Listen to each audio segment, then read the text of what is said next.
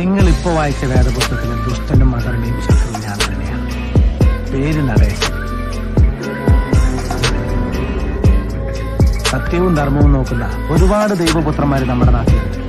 അവർക്കെതിരെ ഒരു ചെകുത്താനെങ്കിലും വേണ്ടേ? ഇന്ത്യയും ഈ മോഹൻദാസ് എന്നോട് മെക്കെട്ട് കയറാൻ വന്നുകൊണ്ട് അവനെ കൊന്നത്.